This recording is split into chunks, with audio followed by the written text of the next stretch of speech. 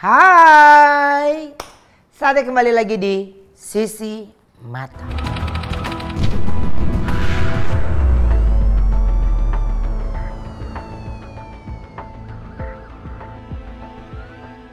Hari ini saya akan bercerita tentang bangunan angker yang berada di Amerika Serikat.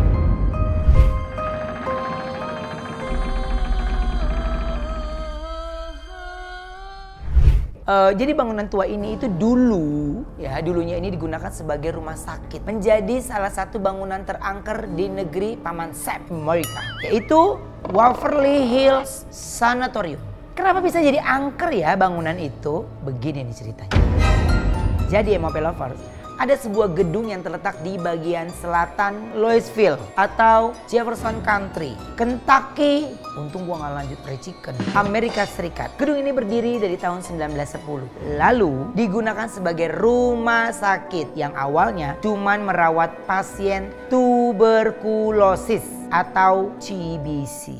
Sekitar 40 hingga 50 pasien. TBC merupakan penyakit yang paling menyebarkan di dunia. Karena penyebab TBC adalah infeksi bakteri Mycobacterium tuberculosis. Penyakit ini umumnya menyerang paru-paru, tulang, usus atau kelenjar dan menyebabkan penderita batuk berdahak bahkan batuk berdarah yang lebih dari 3 minggu. Penderita juga bisa menularkan lewat air liur, bersin, batuk atau meludah. Pada saat itu banyak warga sekitar tertular penyakit TBC sampai penyakit itu disebut sebagai wabah putih. Gedung ini bukan cuma digunakan untuk rumah sakit. Gedung ini juga digunakan sebagai tempat eksperimen yang berbahaya dalam pengobatan pasien. Contohnya, mereka melakukan pembedahan pada pasien dengan memotong dua atau tiga tulang rusuk. Tujuannya agar paru-paru pasien lebih berkembang. Tapi kenyataannya eksperimen itu justru gagal dan tidak menyembuhkan sama sekali. Tapi malah membuat pasien semakin banyak. Sampai menyebabkan kematian sekitar 10.000 pasien. Karena kejadian ini yang bikin gedung tua tersebut menyimpan kisah yang mengerikan. Kok bisa ya pengobatan dalam rumah sakit itu justru malah mematikan. Nah, sebenarnya eksperimen itu kayak gimana sih? Oke, jadi ceritanya begini. Tanah yang dikenal dengan Bukit Waverly pada tahun 1900-an, kota Jefferson Country ini lagi dilanda wabah TBC. Banyak kasus TBC karena di sepanjang daerah sungai Ohio itu banyak mengandung bakteri sehingga dapat menimbulkan wabah ini. Awalnya gedung ini hanya memiliki dua lantai yang dibuka dari gedung administrasi atau utama dan ada dua pavilion yang dibuka. Nah, masing-masing hanya menerima 20 pasien saja untuk perawatan kasus awal. Pada tahun 1911, kota Louisville mulai mempersiapkan untuk membangun rumah sakit dan struktur organisasi yang baru. Akhirnya Dewan Rumah Sakit Tuberkulosis diberi 25 ribu dolar atau sekitar 359 juta rupiah untuk perawatan kasus TBC lebih lanjut. Dan pada tanggal 31 Agustus 1912, semua pasien TBC dari rumah sakit kota ini dipindahkan ke tempat penampungan sementara di tenda-tenda yang ada di Waverly Hills sambil menunggu penyelesaian rumah sakit itu. Nah, pada bulan Desember 1912, rumah sakit itu dibuka untuk perawatan awal ya 40 pasien. Dan pada tahun 1914 baru ditambahkan untuk 50 tempat tidur lagi. Sehingga bisa diketahui kalau kapasitasnya sekitar 130 pasien yang dirawat di rumah sakit itu. Laporan ini tujuannya adalah untuk menambah gedung baru setiap tahun agar terus bertambah sehingga mungkin bisa lebih banyak tempat tidur yang tersedia. Tetapi setelah adanya streptomycin atau yang biasa kita kenal sebagai antibiotik pada tahun 1943, jumlah kasus tuberkulosis ini secara bertahap akhirnya menurun. Pasien yang tersisa dikirim ke Hazelwood Sanatorium di Louisville dan akhirnya gedung itu resmi ditutup pada Juni 1961. Setelah ditutup jadi rumah sakit, gedung tua itu juga pernah digunakan sebagai panti jompo yang terutama merawat pasien lebih lanjut usia dengan berbagai tahap demensia dan keterbatasan mobilitas serta cacat mental yang parah. Namun, Woodhaven sangat gagal karena kekurangan staf dan penuh sesak. Woodhaven akhirnya diberikan laporan tentang pengabaian pasien dan akhirnya resmi ditutup oleh bagian Kentucky pada tahun 1982. Dari resminya ditutup panti asuhan itu, arsitek dari gedung Simpsonville ini yaitu J. Clifford Todd membeli rumah sakit itu pada tahun 1983 dengan harga 3 juta 5 ribu dolar atau sekitar 43 miliar rupiah. Lalu Todd merencanakan mengubah bangunan tua ini untuk penjara agar membantu negara mengurangi kejahatan. Tetapi Todd juga membatalkan rencana itu karena ada tetangga yang tidak setuju dan memprotes rencana ini. Hingga Todd dan seorang arsitek bernama Milton Thompson, oh si Milton, Siapa? Aku manggilnya Mil. Milton Thompson ini juga mau merencanakan kembali untuk merubah rumah sakit ini menjadi apartemen. Tetapi hanya mengandalkan pengadilan Fiskal Jefferson untuk membeli sekitar 140 acres atau sekitar 57 hektar. Nah, harganya berapa? Harganya 400 ribu dolar atau sekitar 5,7 miliar untuk memulai proyek tersebut.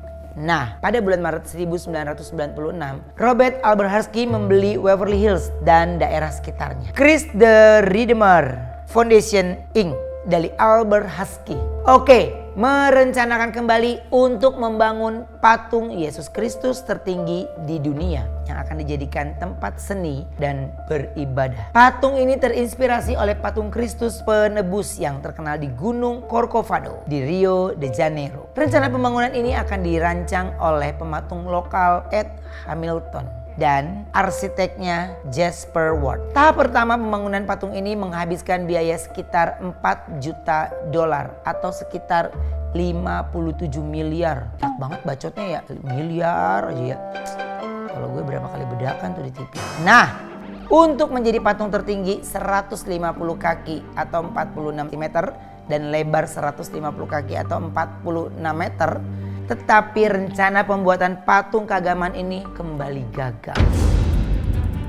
Karena sumbangan proyek itu jauh dari harapan. Proyek ini kembali dibatalkan pada bulan Desember 1997. Kenapa ya kira-kira? Kenapa ya gedung ini dijadikan banyak tempat? Bangunan ini justru gagal. Gagal lagi, gagal lagi. Apa karena bekas rumah sakit angker itu?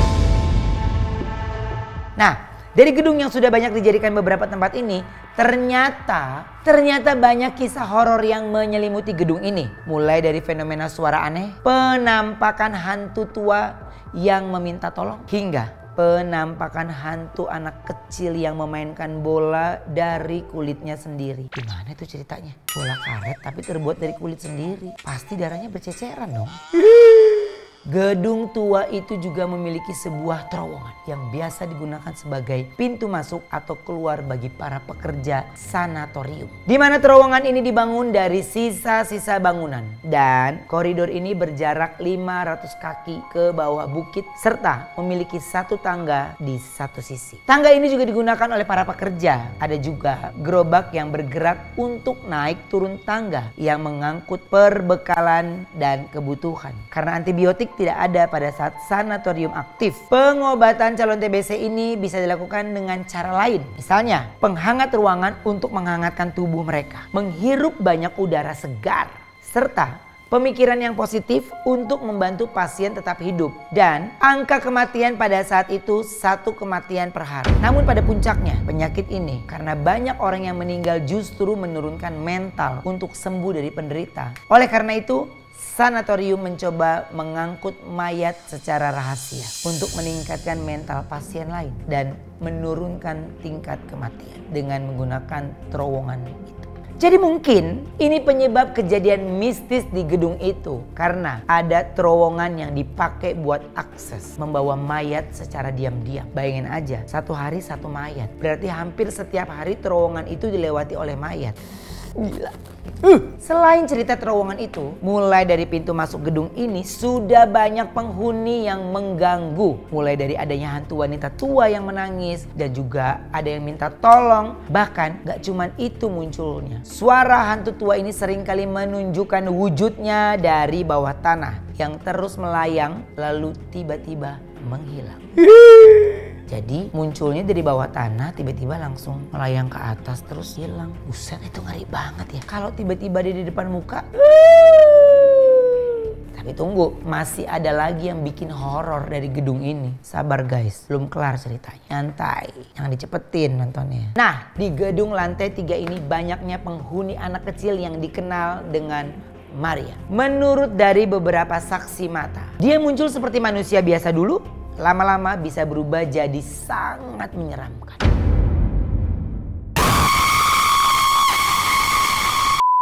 Saat hantu Maria itu sering memainkan bola karet dan memantulkannya di lantai. Oh bola basket lah ya. Nah itu ternyata dibuat dari kulitnya sendiri. Iu, coba bayangin ya. Terbuat dari kulit sendiri. Iu, itu gimana? Itu lantai tiga. Kita naik ke lantai empat. Selain lantai tiga ada anak kecil itu. Nah di lantai empat ini juga ada bagian yang paling menyeramkan. Karena di lantai empat ini bisa dibilang tempat berkumpulnya semua makhluk gaib yang mendiami gedung ini. Ini adalah tempat yang paling horor. Sering menampakkan hantu, suara-suara aneh. Bahkan ia sering kali menerkam orang yang datang ke gedung ini. Emang setan bisa nyentuh kita ya? Mungkin luar kali ya, karena keju. Jadi mungkin. Nah, ada juga nih kamar 502 yang dikenal sebagai tempat yang paling angker dari sudut-sudut yang lainnya. Karena sering munculnya fenomena dari sosok hantu wanita berpakaian seperti suster. Kisah dari hantu ini dipercaya dengan suster yang meninggal dengan cara menggantungkan diri pada tahun 1928. Kenapa saya tahu? Karena saya baca. Hantu suster ini adalah makhluk yang paling menyeramkan. Bahkan dia tidak segan-segan untuk menerkam yang berani masuk ke 502. Oke, okay, lovers, kira-kira ada yang mau staycation di situ nggak? Ayo, ada nggak kakak berada di podcast ya? Nah, gedung ini Waverly Hills Sanatorium ini menjadi tuan rumah atau lokasi untuk pertunjukan terakhir dari festival musik bawah tanah atau Turson apa sih itu? of Lihat di sini. Itu pada 11 Agustus 2007. Festival ini menampilkan aksi-aksi terkemuka scene metal, metalcore ekstrim, Job for a Cowboy, The Acacia Strain, Headbreed, Shadows Fall, dan masih banyak lagi. Jadi gedung ini memang sudah tua karena dibangun sejak 1910 yang digunakan mulai dari rumah sakit panti jompo, pembuatan penjara, pembuatan patung, pembuatan apartemen, semuanya ditutup karena memiliki kisah yang menyeramkan. Dan banyak warga sekitar yang bilang bahwa mereka melihat jelas penampakan yang ada di rumah sakit Waverly Hills. Gila, bangunan bekas rumah sakit Waverly Hills Sanatorium ini memang angker. Karena banyak eksperimen yang merenggut nyawa. Ada yang berani ke rumah sakit itu? Takut. Aku juga takut. Nah, oke kayak gitu terima kasih buat semuanya ya.